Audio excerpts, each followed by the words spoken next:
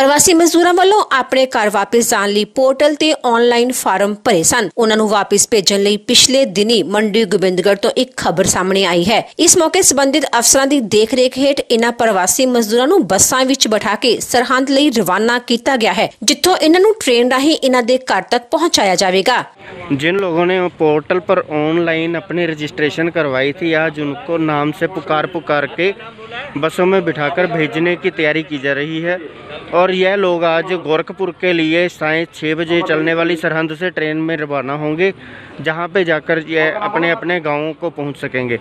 सभी श्रमिकों को पहले गोरखपुर छोड़ा जाएगा, वहाँ से ये अपने अपने गाँव और अपने अपने ज़िलों में वहाँ से किए गए प्रबंधों के अनुसार पहुँचाए जाएँगे। ਇਸ ਮੌਕੇ ਮੰਡੀ ਗੋਬਿੰਦਗੜ੍ਹ ਤੋਂ ਪੰਜਾਬ ਦਰਪਣ ਨਿਊਜ਼ ਦੇ ਪੱਤਰਕਾਰ ਇੰਦਰਜੀਤ ਸਿੰਘ ਮੱਗੋ ਨਾਲ ਗੱਲਬਾਤ ਕਰਦਿਆਂ ਉੱਚ ਅਧਿਕਾਰੀਆਂ ਨੇ ਬੋਲਦਿਆਂ ਕਿਹਾ ਕਿ ਜਿਸ ਤਰ੍ਹਾਂ ਜੀ ਅਹ ਇੱਕ ਤਾਂ ਸਵੇਰੇ ਹੁਣ ਅਸੀਂ ਚਾਰ ਵਜੇ ਸੁਲਤਾਨਪੁਰ ਵਾਸਤੇ ਭੇਜ ਚੁੱਕੇ ਪਟਿਆਲਾ ਰੇਲਵੇ ਸਟੇਸ਼ਨ ਤੇ। ਉੱਥੇ ਸਾਡੇ ਨਾਇਬ ਤਹਿਸੀਲਦਾਰ ਅਹ, ਪਰਮਿੰਦਰ ਸਿੰਘ ਘਨਾਤ ਨੇ ਉਹ ਰਿਸੀਵ ਕਰਕੇ ਹੈਂਡਓਵਰ ਕਰਨਗੇ ਬੰਦਿਆਂ ਨੂੰ। ਉਸ ਤੋਂ ਬਾਅਦ ਅੱਜ ਸਰਹੰਦ ਰੇਲਵੇ ਸਟੇਸ਼ਨ ਤੋਂ ਗੋਰਖਪੁਰ ਵਾਸਤੇ ਟ੍ਰੇਨ ਜਾਣੀ ਹੈ। ਉਸ ਟ੍ਰੇਨ ਵਾਸਤੇ ਅਸੀਂ ਬੰਦੇ ਬੁਲਾਏ ਹੋਏ ਨੇ ਜਿਨ੍ਹਾਂ ਦਾ ਆਲਰੇਡੀ ਮੈਡੀਕਲ ਹੋਇਆ ਵਾ ਇਹਨਾਂ ਨੇ ਪੋਰਟਲ ਤੇ ਰਜਿਸਟਰ ਕੀਤਾ ਹੋਇਆ ਸੀ। ਇਹਨਾਂ ਨੂੰ ਫੋਨ ਕਰ ਕਰਕੇ ਇਕੱਲੇ ਇਕੱਲੇ ਨੂੰ ਬੁਲਾਇਆ ਗਿਆ ਜੀ। ਤੇ ਹੁਣ ਜਿਹੜੀ ਡਿਸਟ੍ਰਿਕਟਸ ਦਾ ਕਲਸਟਰ ਹੈਗਾ ਗੋਰਖਪੁਰ ਦੇ ਇਨ ਅਰਾਊਂਡ ਜੋ ਸਾਨੂੰ ਰੂਟ ਪਲਾਨ ਚ ਆਇਆ ਉਹਨਾਂ ਦੀਆਂ ਬੱਸਾਂ ਹੁਣ ਭਰ ਕੇ ਜਿਹੜੀਆਂ ਸਰਹੰਦ ਰੇਲਵੇ ਸਟੇਸ਼ਨ ਤੇ ਗਈਆਂ। ਕਿੱਥੇ ਕਿੱਥੇ ਦੀ ਜਿਹੜੀ ਬੱਸਾਂ ਗਈਆਂ ਕਿੰਨੀਆਂ ਬੱਸਾਂ ਜਿਹੜੀਆਂ ਇੱਥੋਂ ਗਈਆਂ?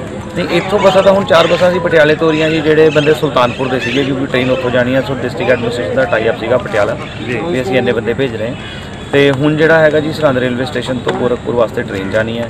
ਸੋ ਗੋਰਖਪੁਰ ਮਾਊ ਖੁਸ਼ੀਨਗਰ ਇਹਨਾਂ ਦੀ ਜਿਹੜੀਆਂ ਪ੍ਰਵਾਸੀ ਮਜ਼ਦੂਰ ਨੇ ਜੀ ਆਪਣੇ ਇੱਥੇ ਉਹ- ਉਹਨਾਂ ਨੂੰ ਹੁਣ ਸਰਹੰਦ ਰੇਲਵੇ ਸਟੇਸ਼ਨ ਤੇ ਜਾਣਾ। ਕਿੰਨੀ ਗਿਣਤੀ ਹੈ ਜੀ? ਤਕਰੀਬਨ ਅ, ਸਾਢੇ 1200 1300 ਇਹਨਾਂ ਨੂੰ ਕੋਈ ਫੂਡ ਵੀ ਪ੍ਰੋਵਾਈਡ ਕਰਵਾਇਆ ਜਾ ਰਿਹਾ? ਹਾਂਜੀ। ਵਾਟਰ ਬੋਟਲ ਤੇ ਫੂਡ ਪ੍ਰੋਵਾਈਡ ਕਰਾਇਆ ਜਾ ਰਿਹਾ ਹੈ ਸਾਰਾ। ਤੇ ਉੱਥੇ ਰੇਲਵੇ ਸਟੇਸ਼ਨ ਦੇ ਪੂਰੇ ਪ੍ਰਬੰਧ ਕਰ ਲਏ ਗਏ ਨੇ? ਹਾਂਜੀ। ਕਿੰਨੇ ਵਜੇ ਟ੍ਰੇਨ ਹੈ ਜੀ? ਸ਼ਾਮ ਨੂੰ 6 ਵਜੇ ਜੀ। ਕੋਈ ਚਾਰजेस ਇਹਨਾਂ ਤੋਂ ਸਰ? ਨਹੀਂ ਜੀ। ਕਿਸੇ ਕਿਸਮ ਦਾ ਕੋਈ? ਬਿਲਕੁਲ ਕਿਸੇ ਕਿਸਮ ਦਾ ਕੋਈ ਚਾਰਜ ਨਹੀਂ। ਫੂਡ ਵੀ ਫ੍ਰੀ ਹੈ? ਫੂਡ ਵੀ ਫ੍ਰੀ ਹੈ ਜੀ। ਪੰਜਾਬ ਦਰਪਣ ਨਿਊਜ਼ ਲਈ ਮੰਡੀ ਗੋਬਿੰਦਗੜ੍ਹ ਤੋਂ ਇੰਦਰਜੀਤ ਸਿੰਘ ਮੱਗੋ ਦੀ ਵਿਸ਼ੇਸ਼ ਰਿਪੋਰਟ।